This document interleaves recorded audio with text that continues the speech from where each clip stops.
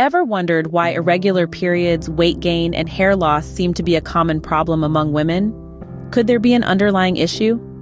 Today, we dive into two conditions that are often misunderstood and misdiagnosed, polycystic ovary disease, PCOD, and polycystic ovary syndrome, PCOS. PCOD and PCOS, though used interchangeably, are different. PCOD is a condition where multiple small cysts form in the ovaries.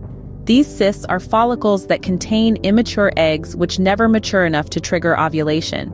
This can lead to hormonal imbalance, causing a variety of symptoms. On the other hand, PCOS is a metabolic disorder and not just a reproductive issue. It is a more severe form of PCOD, with symptoms extending beyond the ovaries and affecting various parts of the body. So, what causes these conditions? While the exact cause remains unknown, genetics, insulin resistance, inflammation, and hormonal imbalance are key contributors. You heard it right, ladies. These issues are more than just bad luck or fate. Now, the symptoms of PCOD and PCOS can be quite similar, with irregular periods being the most common. But there's more to it. Excessive hair growth, weight gain, acne, and even hair loss can be telltale signs of these conditions. In PCOS, these symptoms could be more severe, with additional issues like darkening of the skin and sleep apnea. And the effects? They are far-reaching. Infertility, type 2 diabetes, heart disease, and endometrial cancer are some of the potential outcomes if these conditions remain untreated.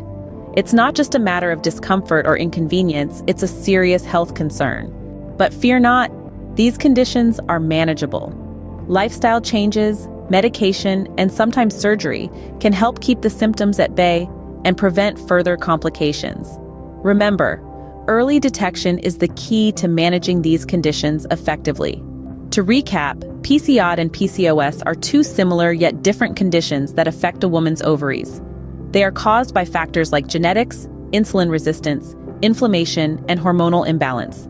The symptoms can range from irregular periods to weight gain, excessive hair growth, and even hair loss. If left untreated, they can lead to serious health complications like infertility, type 2 diabetes, heart disease, and endometrial cancer. But don't let this scare you. With the right treatment and lifestyle changes, these conditions can be managed effectively. So stay aware, Stay healthy, and remember to take care of your body. It's the only place you have to live in.